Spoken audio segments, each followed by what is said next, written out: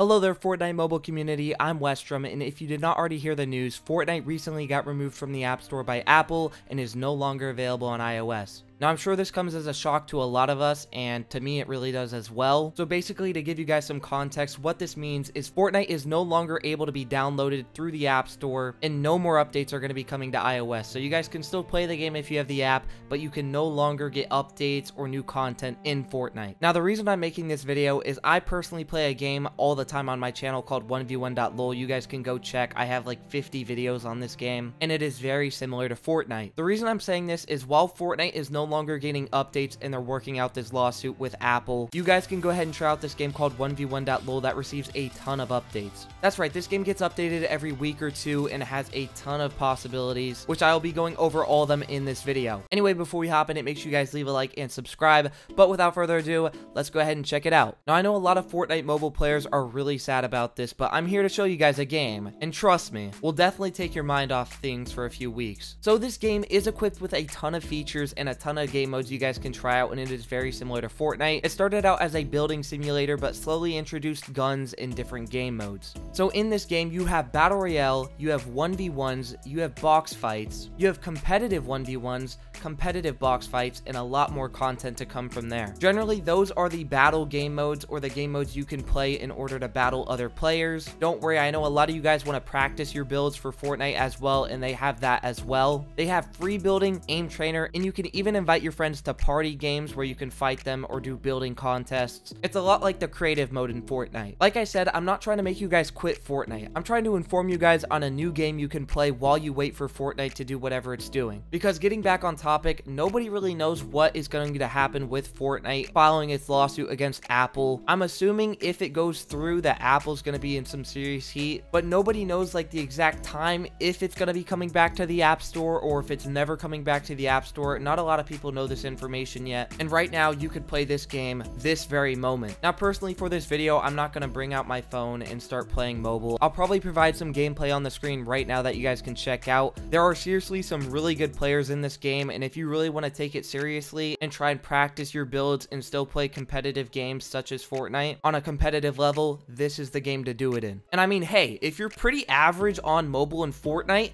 you'll sweep a ton of people off their feet in this game. You're you will literally be cracked insane. I'm telling you guys, I play this game on mobile sometimes and I literally clap so many people and I don't even play on my phone half the time. I usually play on my computer. But yes, I'm telling you guys right now, download this app right now. It's called 1v1.lol. I will link it down below in the description if you guys want to download it on iOS or Google Play. I'm assuming not all of you guys are on iOS, of course. Some of you guys are on Google Play and it really doesn't affect you right now. But if you guys seriously want to get it and try it out, even if it's not banned, you guys can download it with the link down below. Now, before I end out this video, I'm pretty sure a lot of people are going to be asking, does this game have the capabilities and compatibilities with my Fortnite settings and all that good stuff? Yes, the game has an entire UI layout that you can go over and check out. You can move buttons around just like in Fortnite. It's really, really helpful and really useful. Anyway, that's going to be it from me. I really hope you guys enjoyed this video. Make sure you guys smash the like button and subscribe if you guys want to see more content from me. I'm sure a lot of you guys like to watch Fortnite, but if you guys do want to end up watching some 1v1.lol on my channel, you guys can do that just by hitting the sub button down below.